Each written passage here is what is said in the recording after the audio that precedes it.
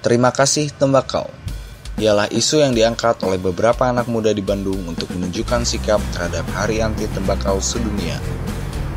Aksi ini dilakukan simbolis dengan berjalan santai dari Balai Kota Bandung menuju Bandung Indah Plaza, lalu berhenti di Taman Panda.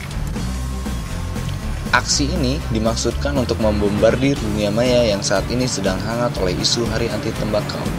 Dengan aksi ini, masyarakat juga jadi mengetahui bahwa ada pergerakan kontra tentang Hari Anti Tembakau. Partisipan yang menggunakan baju berwarna krem dengan huruf berurutan yang membentuk kalimat hashtag terima kasih tembakau.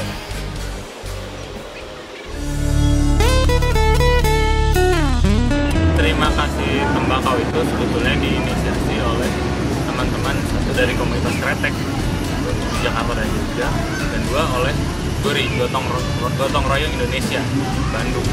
Itu memang uh, dua lembaga itu memang concern mengangkat soal isu-isu uh, pertembakauan pertembakauan aja.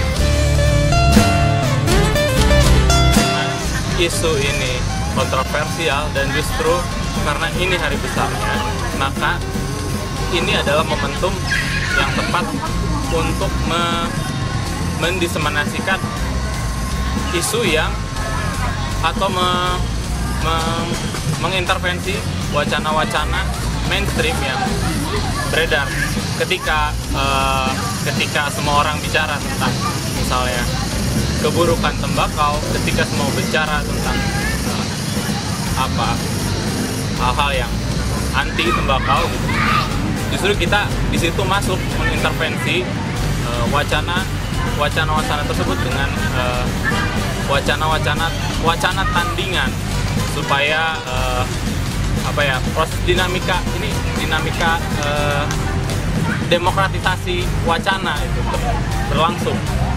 Jadi ketika misalnya kita bicara soal uh, wacana yang misalnya hanya dihegemoni oleh satu satu kelompok atau satu suara saja itu uh, demokrasi berhenti.